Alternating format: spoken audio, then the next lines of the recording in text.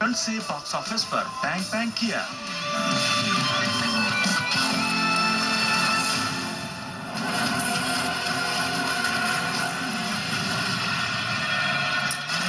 Action का तड़का लगाया तो धूम मच गई।